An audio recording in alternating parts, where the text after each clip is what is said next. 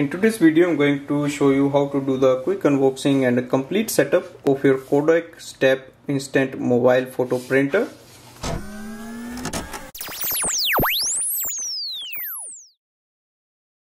So let's do the unboxing. Now slide it out. So it comes with the booklet, small booklet. That's our small printer and here we have some photo papers some stickers. That's the charging cable let's take it out. It's quite nice. So that's the power button. If we press it so it will switch it on. So the red light is flashing it means it needs the recharging. Now the first step is to load the paper. So slide it. Open the cover. So it comes with the 2 into 3 inch photo paper.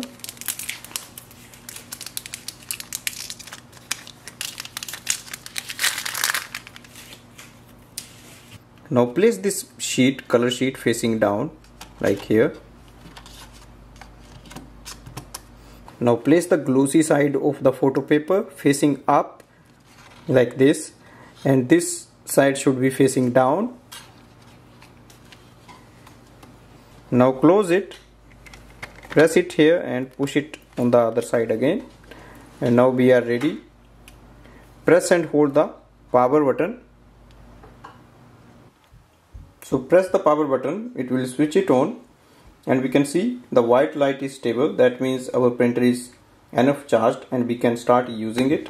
Next step is to connect with your smartphone. I'm going to use my iPhone. Go to the app store. Type in Kodak step prints on the next screen. Select the Kodak step prints app open.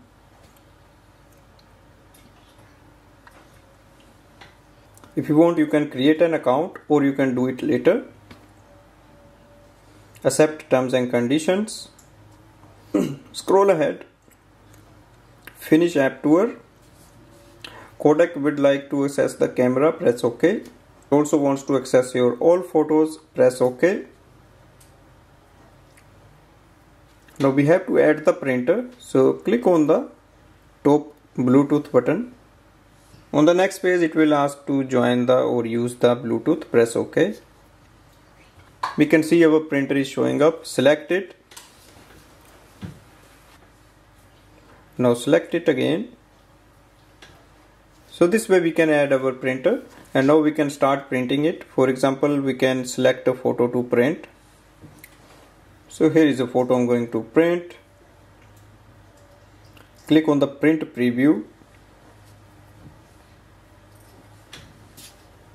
So this is the photo I'm going to print with this printer. If you want you can edit. So it has option to edit the photos. You can add some effects filters. Once you do that go back.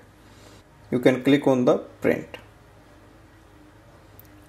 So here is the print preview on the next page you can select the number of copies you want to print and then click on the print icon. Now we can turn it around.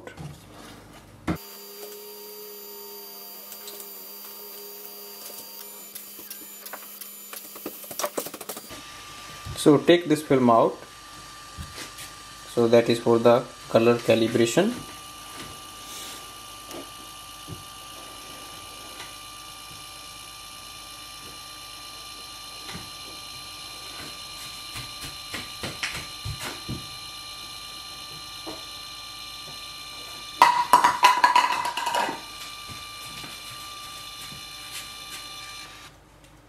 so let's see the result.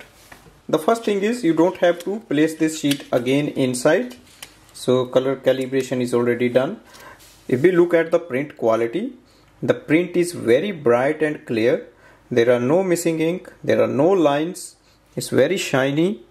And it looks so nice and beautiful. So if we compare with the original photo we can see there is no big difference so it's really really nice. I will definitely recommend this printer if you just want to print photos. And it's very easy to use the printer. You can just take it anywhere. And the good thing about the printer is like it doesn't use any ink cartridge. So it all depends on this photo paper. So you just have to buy the photo paper install it and start using it. You don't need to buy any ink cartridge. And that is best about this photo printer so this way we can do the complete setup and then we can start using it. Make sure you use this blue card at starting and you also keep it with you so that whenever you need it you can just scan it for the proper ink color calibration. Thanks for watching